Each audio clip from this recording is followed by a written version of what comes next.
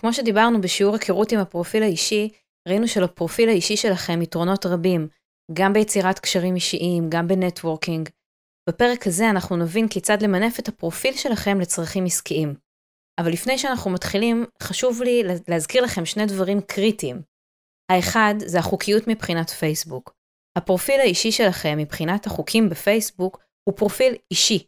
אסור לו להיות בשם של העסק, אסור לכם להעלות תמונת פרופיל שהיא הלוגו של העסק. הדבר השני זו רשת חברתית. מה הכוונה שלי? הכוונה שלי זה שעלינו להתנהג בצורה כזו, עלינו להיות חלק מהשיחה, להתייחס באופן אישי לאנשים, לחשוף דברים מהחיים האישיים שלנו. אנחנו נלמד איך להשתמש בפרופיל האישי לצרכים עסקיים, אבל זה לא אומר שהפרופיל האישי שלנו הופך להיות העסק.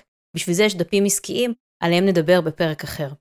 אז אה, בפרק הקרוב, שמדבר על שימוש בפרופיל אישי לצרכי מיתוג, אנחנו נעבור על סוגי הסטטוסים שאתם יכולים לפרסם בפרופיל האישי ובאיזה מינון כדאי לפרסם אותם. נעבור על הגדרות החשבון והגדרות הפרטיות החשובות לכם שאתם משתמשים בפרופיל האישי לצרכי, אה, לצרכים עסקיים, ונדבר על ניהול חברים באופן יעיל, נשתמש ברשימות פייסבוק שיכולות אה, ממש לעזור לכם בניהול הזמן ולנהל את הפרופיל בצורה טובה יותר. אז בואו נתקדם לשיעור הבא.